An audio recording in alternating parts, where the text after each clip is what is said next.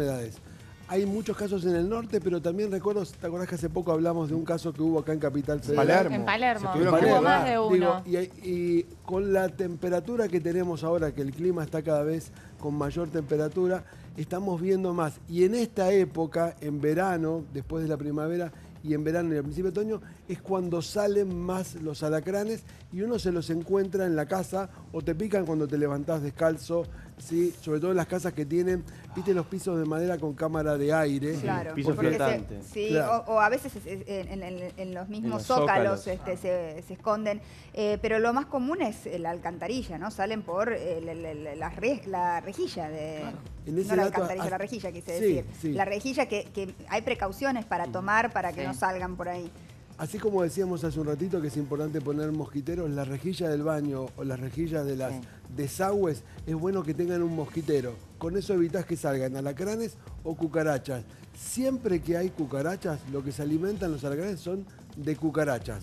Digamos, el alimento predilecto. O sea que también cumple Ah, una de la función mano, biológica claro. dentro del tal, tal ecosistema, cual, ¿no? tal cual. Si Ay, hay prefiero la cucara- cucaracha, dejemos la Sí, cucaracha. muerde, por lo menos. No, no pica. Justo Pero- hoy que salió un Pero informe. pará, si el, si el alacrán se alimenta de cucarachas, quiere decir que si tenemos cucarachas puede haber alacranes. Tal cual. Sí. Ah. Sí. Justo hoy que salió un informe que la Comunidad Económica Europea aprobó que- que se puedan se comer, comer insectos, bichos, claro, sí. Como aprobación. De hecho, nosotros lo veíamos, digo, a Marley, cuando uno Sí. iba a Asia o Eran África, comestibles igual, eh, eh, que tiene una cantidad de proteínas muy importante. Se aprobó para comer. Pero eh, son los grillos, para que la gente no entienda No, mal y, y se ponga no, a comer no, cualquier Hay bicho. no, Hay grillos, sí. hay hormigas, hay abejas. Las hormigas que y se hay comen como pochoclo. En, Colombia se comen como pochoclo. Y tienen una cantidad de proteínas. Culturalmente nosotros no estamos todavía, ¿no? Como, Como para Nos hemos tragado varios Ahora- sapos en la Argentina, pero bichos no. Sí, pero en México se come muchísimo, en- en- hay muchos países donde es muy común. Los grillos se comen como si fuera pochoclo, se, Exacto. eh, o, o pochoclo, como es chocolate, se hace como si fueran un crispy, quería decir, no quería decir la marca. Y Ah, sí. Doctor, Eh, otro de los, perdón, otro de los lugares eh, donde muchas veces salen este tipo de bichos puede ser los inodoros también, porque muchas veces la gente deja la tapa abierta y también pasan esas cosas. sí. Es poco La- la- la tapa frecuente, levantada. digo para no asustar a la gente, No, es no poco digo, frecuente pero- por el tema del sifón que tiene para evitar el olor. Tiene una cámara de, de- de agua que evita, ¿sí? A veces ha aparecido en lugares donde la gente no tiene, digamos, cloacas, en la, en la capital Mm. no pasa, eh, y, y tiene conectado con un pozo ciego y ahí sí puede salir...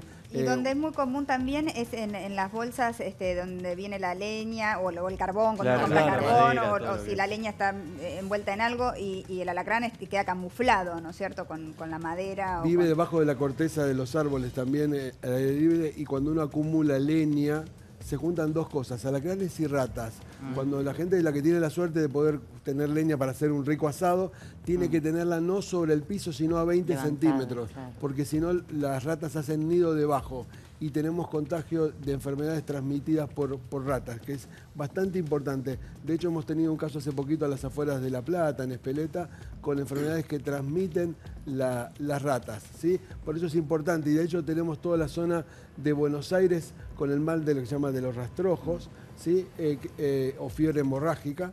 Y la verdad que son cosas importantes que habitualmente se llaman zoonosis, las enfermedades que transmiten los animales, no las tenemos muy en cuenta. Ahora, ¿Qué doctor- hacemos? Eh, eh, perdón. perdóname, Cata, pero vemos el alacrán. Es muy importante eh, atraparlo, ¿no? ¿O no? O sea, matarlo. ¿Qué hacemos con el Matarlo. alacrán? Porque Eh, no, es difícil matar un alacrán, ¿eh? No es, no es Con fácil. la Salvo que, zapatilla. sí, con- si, No, si es un alacrán normal, sí. Ahora eh, eh, se mete, se, se escapa, se mete por adentro del zócalo, sabés que el alacrán está atrás del Un zócalo. bowl, y- Mariana, y- y no o un frasco. sacarlo. Así, es lo más práctico. Claro. Así, así recomiendan atraparlos. Con un, con un frasco, ponérselo encima y dejarlo ahí en el piso. Sí, sí. Si se puede, ¿eh? Sí. Bueno, no, pero te digo esto porque no, te, no toma contacto con la piel ni lo tocas. Tampoco No, y poder- aparte depende con qué zapato lo matás, puede atravesar el Claro. aguijón. Bueno. Son tus ¿Qué zapatillas pasó? de Lo dice muy segura. por ¿Cómo eso. te- Con una de plataforma, Mariana. Siempre con una de Yo plataforma. sé que ustedes no me lo creen, que yo viví en el campo. O sea, de- Ah, tengo, mi experiencia con verdad. los bichos. Con alpargatas no, con alpargatas no. Ahora, Con la alpargata no, con la zapatilla sí, pero sí, pero depende, de verdad lo digo. O sea, pues por ahí uno di- dice, dice, lo mato así, con el, pie, ¿no es cierto? Y, o una y- hojota que te y puede un alacrán sacar. grande tiene un aguijón grande. Sí, son importantes la- la- las picaduras que hacen a veces pueden ser letales, sobre todo en los chicos. Es importante que si ves, detectás que hay alacranes, que llames a alguien para que haga una fumigación. Digo, si uno elimina las cucarachas de su casa habitualmente, no hay alacranes porque viven de eso, ¿sí? Y a veces en el querer atraparlo, ahí es cuando te pica.